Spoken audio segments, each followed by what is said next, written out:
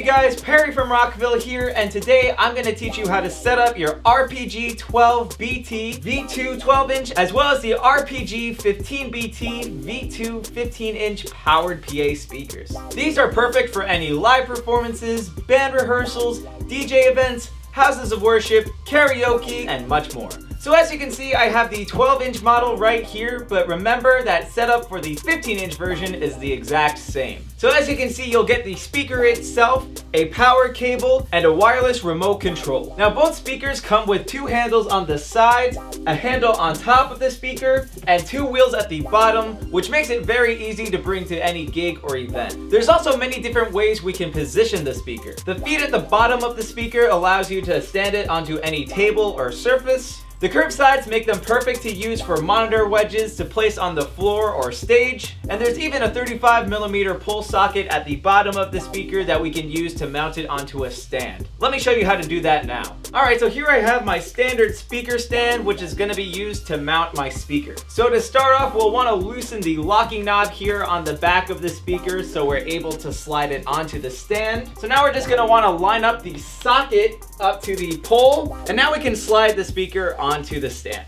And then we can tighten up the locking knob to lock the speaker into place. So the next thing we're gonna wanna do is take the included power cable, take the female end and plug that into the speaker. Then we're gonna take the other end and plug that into a power outlet. Now the speaker comes with an option to switch the voltage from 110 to 220 if you live in a country that uses 220 volts. However, since we're based here in the US, we're gonna keep it at 110. So now we can flip the power switch to turn the speaker on. Now the speaker comes with a built-in combo jack that we can use to connect a microphone.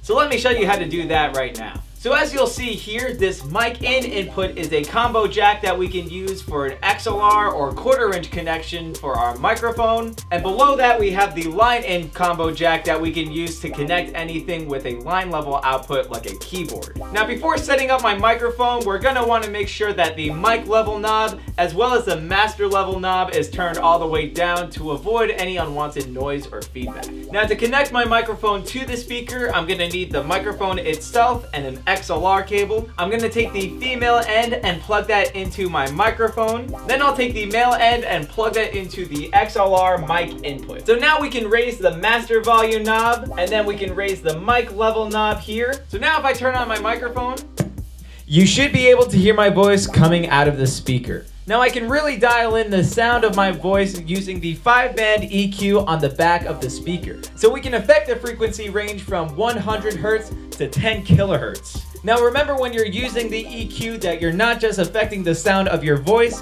but you're also affecting the overall mix of anything coming out of the speaker like music. The speaker also comes with a digital effect unit. Now we can use the delay and repeat knobs to really dial in the sound of the effect. Then to hear the effect, we'll want to raise the EFF level here at the bottom of the speaker. Then we'll want to raise the effect level here on my mic channel. And now you and should now be able to hear the effect coming through the speaker.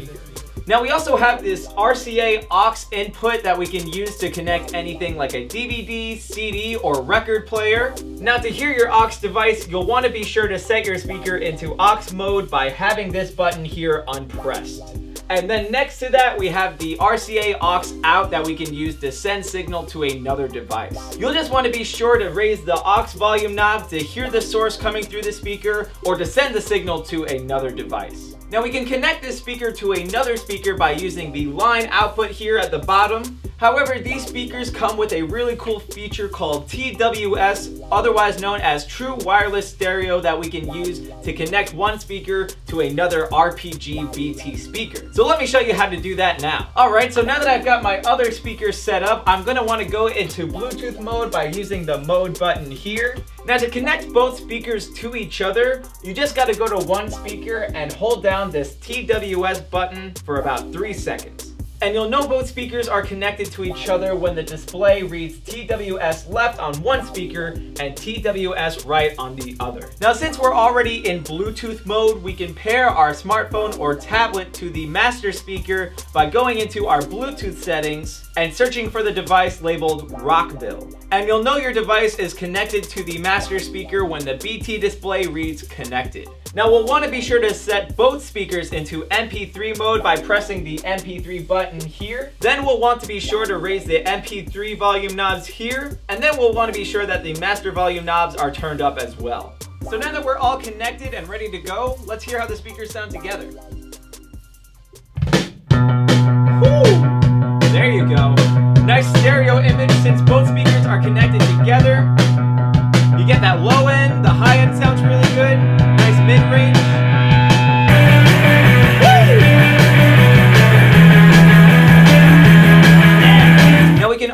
Play music from the speaker by using the USB or SD card ports on the back. Again, you'll just want to be sure to have both speakers in MP3 mode, as well as the MP3 and master volume knobs turned up. Now for an even bigger setup, we can connect the two speakers to a passive mixer.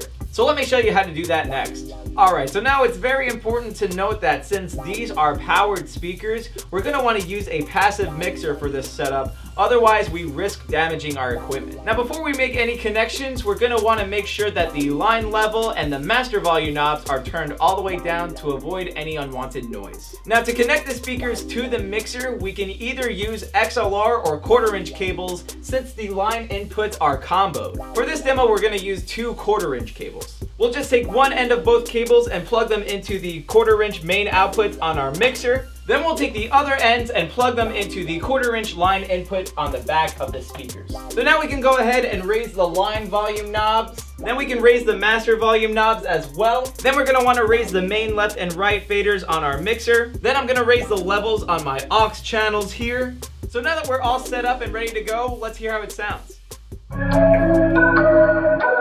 Nice indicator that the passive mixer works with the speakers.